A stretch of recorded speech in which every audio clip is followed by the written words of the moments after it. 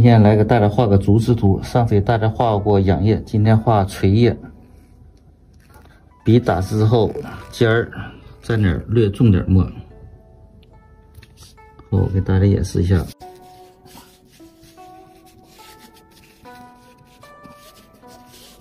石头不要放在正中间。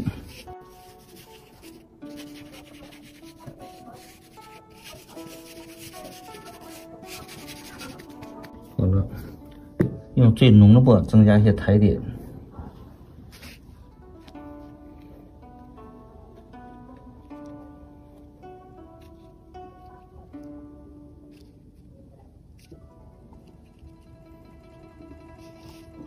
下面我们来画竹竿，但是笔是扁的。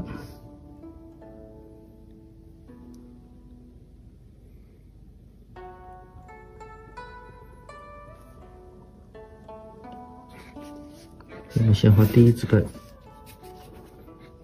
到结实顿一下子，错个位，再送出去。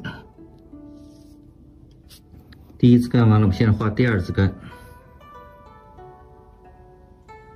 还是两边沾墨，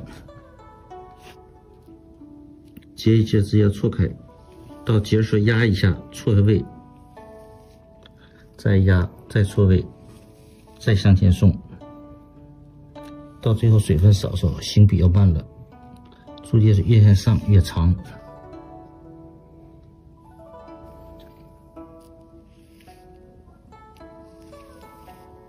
竹竿最低平行，也最低像骨头棒一样那个交叉。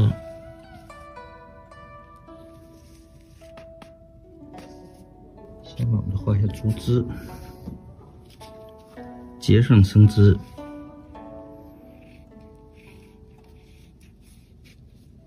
今天我们画的是垂叶。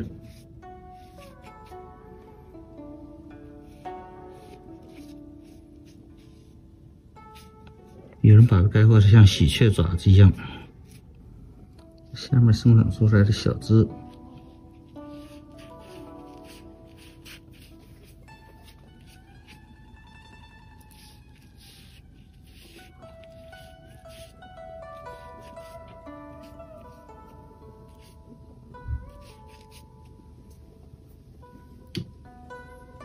用最浓的墨点竹节。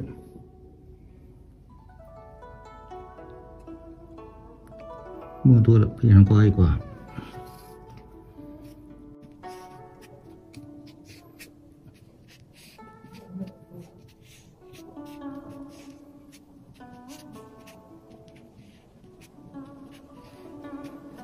下面给大家演示一下画垂叶，最高处叶略淡一些，人字、个字、戒字、分字互相破一下子。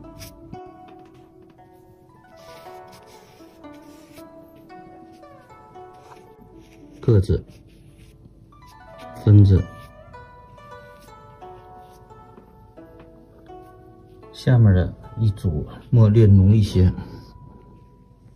人字，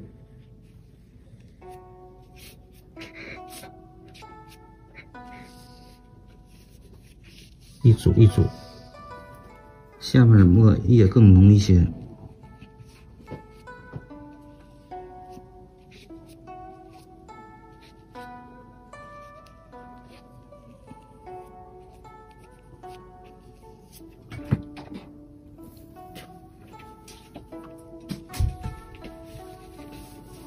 都是一组一组的。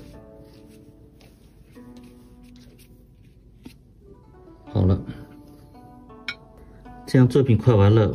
从画面来看，浓叶偏多，我们再画一组淡叶，这样增加些层次。用墨淡一些，可以原来的笔蘸一些清水就可以。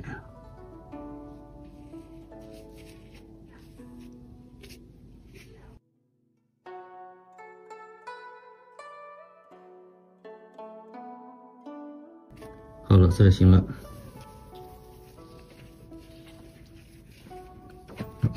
都是人字分着个的组合，一组一组画的，再多竹叶也是一样的。